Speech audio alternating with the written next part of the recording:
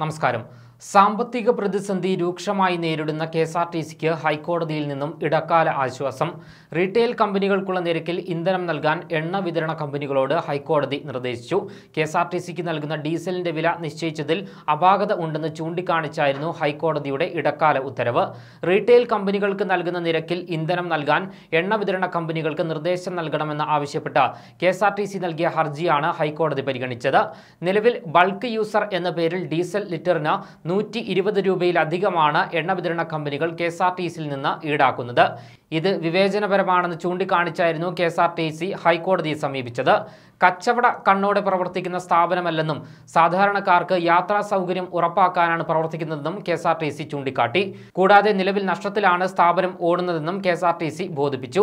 ഈ വാദം അംഗീകരിച്ചുകൊണ്ടായിരുന്നു ഹൈക്കോടതി നടപടി. ഇതോടെ നൂറിൽ താഴെ രൂപയ്ക്ക് കെ എസ് ആർ ടി സിക്ക് ഡീസൽ ലഭിക്കും. നിലവിൽ വലിയ തോതിലുള്ള സാമ്പത്തിക പ്രതിസന്ധി നേരിടുന്ന കെ എസ് ആർ ടി സിക്ക് ഹൈക്കോടതി വിധി താൽക്കാലിക ആശ്വാസമാകുമെന്നാണ് വിലയിരുത്തൽ. അതേസമയം സംസ്ഥാനത്തെ ബസ് ഓട്ടോ ടാക്സി നിരക്കുകൾ മെയ് ഒന്ന് മുതൽ വർദ്ധിപ്പിച്ചേക്കുമെന്ന റിപ്പോർട്ടുകളും പുറത്തുവരുന്നു. ഗതാഗത മന്ത്രി ആന്റണി രാജുവാണ് ഇക്കാര്യം അറിയിച്ചത്. ഉത്തരവ് ഇറങ്ങുന്നതിന് മുൻപ് എല്ലാ കാര്യങ്ങളിലും അഭിപ്രായ സമന്വയമുണ്ടാക്കാനാണ് ശ്രമമെന്നും അദ്ദേഹം പറഞ്ഞു. യാത്രാ നിരക്ക് വർധനയിൽ സർക്കാർ ജാഗ്രതയോടുള്ള സമീപനമാണ് സ്വീകരിക്കുന്നതെന്നും അദ്ദേഹം വ്യക്തമാക്കി. കോവിഡ് കാലത്തെ യാത്രാ നിരക്ക് വർധന സർക്കാർ പിൻവലിച്ചിട്ടുണ്ട്. വിദ്യാർത്ഥി കൺസെഷൻ വർദ്ധിപ്പിക്കണമെന്ന ബസ് ഉടമകളുടെ ആവശ്യം പരിശോധിക്കാൻ പ്രത്യേക സമിതിയെ നിയമിക്കാൻ തീരുമാനിച്ചിട്ടുണ്ട്. ഈ സമിതിയുടെ റിപ്പോർട്ട് പരിശോധിച്ച ശേഷമേ കൺസ്ട്രക്ഷൻ നിരക്കിൽ അന്തിമ തീരുമാനമെടുക്കാൻ കഴിയൂവെന്നും മന്ത്രി വ്യക്തമാക്കി.